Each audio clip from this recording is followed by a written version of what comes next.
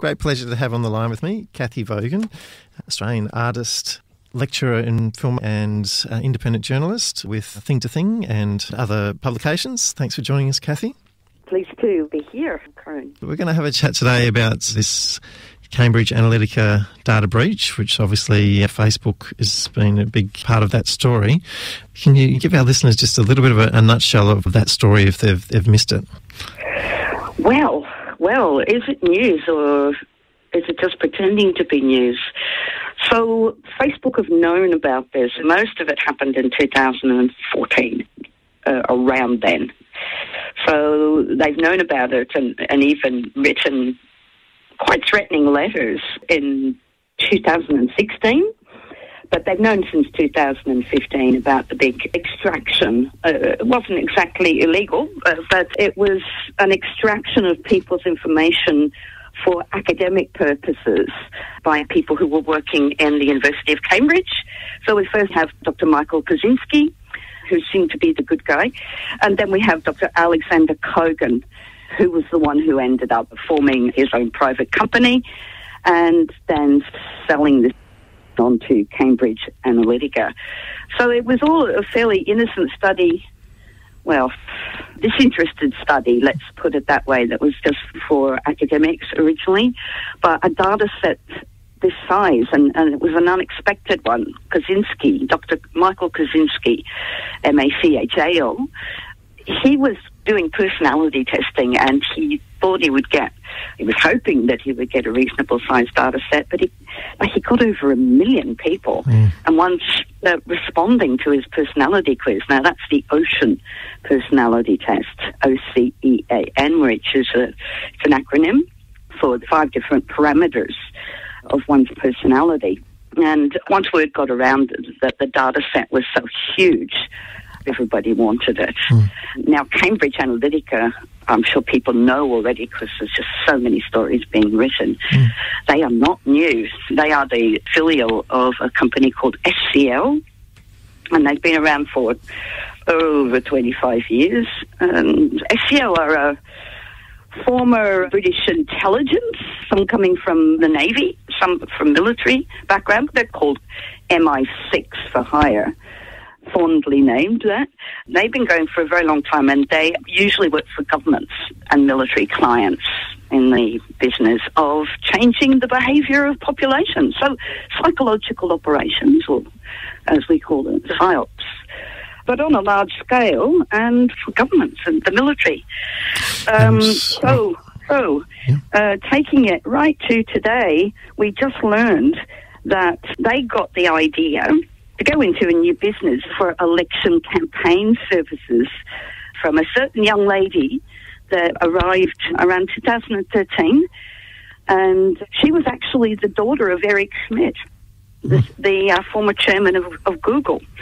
And she said that she was linked to Palantir Technologies, who are an intelligence company, high profile private intelligence company in the US very high profile, in fact. And she talked SCL into getting into this election campaigning thing and also uh, got them interested in the use of big data. In fact, what she was really talking about was it's possible to get large amounts of information about citizens. Mm. Anything you want to know. Yeah. And there's money to be made in selling this to political parties in order to win elections. And so they did. SCL first created a branch called SCL Elections, and then that later became a new company called Cambridge Analytica. And incidentally, the person who chose the name was none other than Steve Bannon. Oh, mate, Steve Bannon, yeah. yeah. So, you know, just to uh, give an example of how successful SCL and Cambridge Analytica were in, in their normal business, in their business as usual of controlling populations, Cambridge Analytica got a job in Trinidad. And the job was to, um, this is real minority report stuff, mm-hmm. the, the job was to create a national police database that would score every single citizen on their propensity to commit a crime, mm. right? Pre crime stuff. and in order to be able to do that, they were given access to everybody's private phone conversations and their email. Now that's prison-like access. We're talking William Binney, Edward Snowden yeah. revelations level access. So that was Cambridge Analytica. And in fact, elections is only 20% of what they do. So in fact, what we have here is this really scary crosstalk going on between tech companies. Mm that store our personal information, such as Google and Facebook, social media, and the like, the intelligence community, and now election campaign companies and the politicians themselves. So basically, you've got this very clear channel of us being. I don't believe that people voluntarily gave their information. They didn't. They mm. were tricked, tricked yep. into it. Yeah they wanted to play the quiz. They, they, you know, they wanted to find out more about themselves. Who reads the the T and C's? The terms and conditions. Yeah, you don't want to yeah. do that. You just want to go and do the test it, yeah. and find out more about yourself. So, so I mean, we, we, really, we've really got a situation here, as if there was any doubt, um, which I'm sure people like yourself and myself uh, and many of our listeners wouldn't have too much doubt. But for the public uh, at RIT, um, you know, Julian Assange's uh, numerous statements over the years uh, suggesting, you know, Facebook and co being the privatisation of the CIA. This is really just uh, if, as if there was any doubt that that was the case. This is well and truly uh, exposed that, yeah? Absolutely. Julian was talking about this, um, getting very clear about it in 2011. Mm. So um, I should say WikiLeaks, bringing out spy files. Mm it took Edward Snowden to come along to give us the smoking gun, documents regarding PRISM and XKeyscore. But I think back then, in 2011, Assange said that Facebook was the biggest spying machine in the world. And I thought, oh, hyperbole. But in fact, we have now seen that this is the case. But it's funny because I just read my 2014 investigation into Palantir Technologies because now there's three intelligence agencies. It's not that help Trump. So there's Palantir Technologies as well as mm. Cambridge Analytica, and there's also another intelligence agency called Quid who haven't looked into too much, but they seem to do imaging. So I thought it was hyperbole, but already back in 2014, I was actually writing about Palantir's.